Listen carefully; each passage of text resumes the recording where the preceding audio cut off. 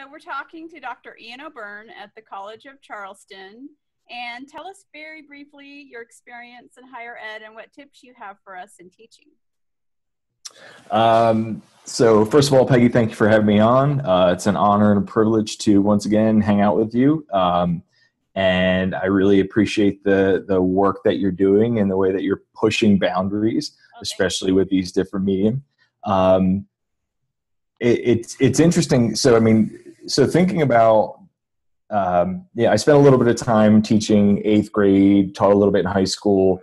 Uh, I've been teaching in higher ed for I would say probably like eight or nine years now. Okay. Um, and so, in terms of like, it, it's interesting because the first thing that's on top of my head right now is yesterday and the day before, the last two days, I was at a, a, a training on a program that we have here at CofC called the First Year Experience.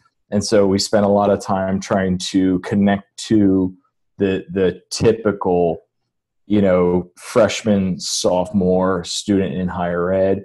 Um, and they talked about, you know, what Gen Z is like and the baby boomers are like and, you know, how people like to learn and what, why are students showing up.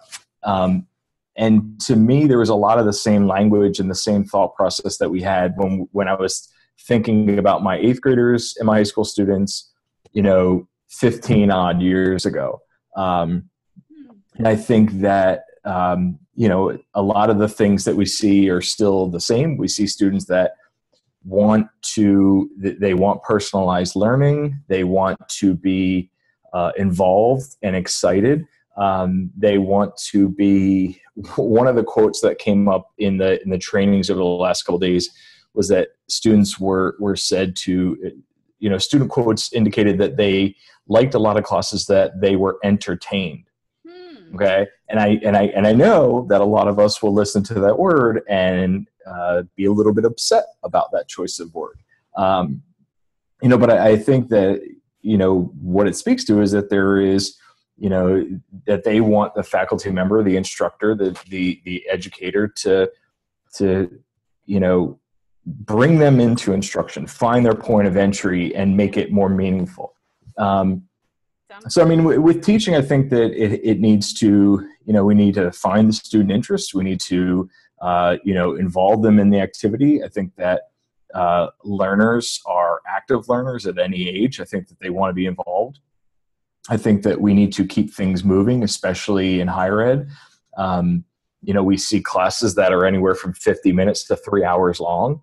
Um, my belief, and I think that there's some anecdotal evidence behind this. I think that we need to, I try to keep my class to like 25, 30 minute chunks of time and, and keep things moving. And if you have a lecture, lecture for 20, 25 minutes, and then move on to some group work, and then move on to some large group discussion, and then move on and keep moving things around to keep them interested. Um, and it's the same thing that I saw when I was teaching eighth grade in, in high school. It, you bring out all the bells and whistles. You know, I try and integrate technology. I try to have um, different groupings of students. I'll pull in YouTube videos, um, but I, I, don't really see any difference there. So I think teaching and learning in in higher ed, it's it's a lot of the the same things that we know about good teaching and learning. I love that you're drawing on your past experience in K twelve and kind of bringing those um, eternal ideas into your experience now and to build on what you're saying about what you're trying i'm also trying to do a lot of mobile learning mm-hmm. some of this is just based on i mean obviously you know you and i and others read the pew data on millennials and that they're very mobile driven but a lot of my students just tell me anecdotally they're so busy they're doing their reading and writing and blackboard on their phones. And so my primary consideration these days is how can this be mobile driven? I think learning on the phone is great or tablet. Well, and it's interesting because I there's this common uh, narrative, I guess, this common discussion point that comes up that well, these kids are all different, you know, and these kids are digital natives and they're wired differently, and we know through the research, a lot of the, the researchers we know personally that the digital natives debate is is hogwash. It does not exist at all.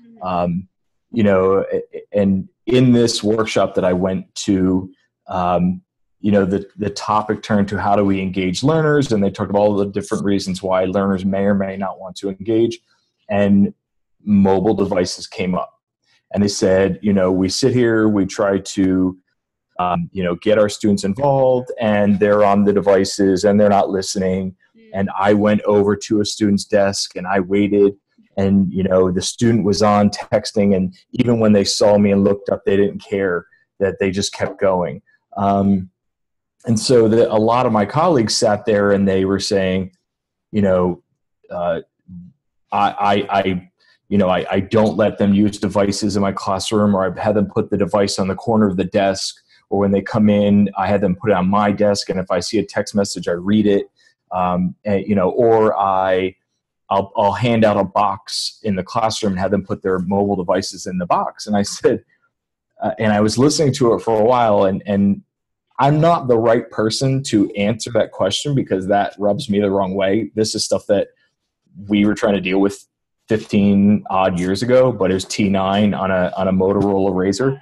Um, and, I said, Do you realize that this is a Simpsons episode? Like, there's a Simpsons clip where Miss Krabappel pulls out the box, you know, with the frogs and says, "Put all of your calculators and cell phones into the box." Um, we teaching and learning should change because of technology. Pedagogy should change because of technology. We need to figure out ways to involve our students. Um, and, and, just saying this blanket, um, you know, no technology and no mobile devices in the classroom doesn't really fit. Mm-hmm. Um, so I think there's gotta there's gotta be a better way. There's a need to sort of re-examine our role with these devices but then at the same time you know I, I i try to push the boundaries with tech in my classroom and i've suggested to students that i use different tools like snapchat you know i use everything and you know i to one class last year i said well hey I, I might use snapchat for my upcoming semester to do like a weekly this is our essential question or our focus and you know, I asked two different classes, about 50 students total, if I should use Snapchat. And for the most part, the response was negative. Hmm. You know, 50% of the students out of all of, of the group said, okay, I understand what you're trying to get at. We understand why you're trying to do it. And if anybody's going to do it, you're going to do it. Um, but honestly, we don't want one more thing to pay attention to. Mm-hmm. You know, we don't want to pay attention to more. Um, we don't want you in that part. Um, and a lot of students don't use those devices. So uh, I, I, think you know we have this mind. You know, on one level, we this. We're trying to figure out how to use these devices and how to change teaching and learning and adapt. And we need to do a better job. And on the other hand, we we think we know what the students want and need, and we think they're wired differently and they're vastly different, but they might not be. Mm-hmm. So that's that's what we have to make sense of. I love all those ideas. Yes, it's a constant uh, making sense and not making assumptions. So I love it. Just getting to know where your students are at and even surveying them to see what they think about what you're going to try. So how do you integrate mobile into your work, into your classrooms? Well, I kind of st- I kind of building on what you were saying about students not wanting one more thing. I'm really trying to funnel all of my resources into the Blackboard LMS learning mm-hmm. system because when I had a colleague and I implemented Edmodo, students posted and did, dis- did discussions on Edmodo. And even though Edmodo had a mobile app, students didn't want to go to one more source. They wanted to just have everything in one hub. And so yep. use the Blackboard app quite a bit. Um, and I have students make podcasts, their own podcasts on using mobile devices. And I'm encouraging them to try some different instructional um, pedagogies for their own elementary teaching. I'm, i focus on elementary education within literacy. So getting them to think about mobile tools as a pedagogical device in their own. Yeah. I've noticed that too. Like I tried to, I'll use Wikispaces and then I'll use like Hangouts for texting and I'll use all these different devices and spaces. And then this last semester, I had a couple students that and I don't use our, our in-house learning management system. It's like a Desire2Learn mock-up.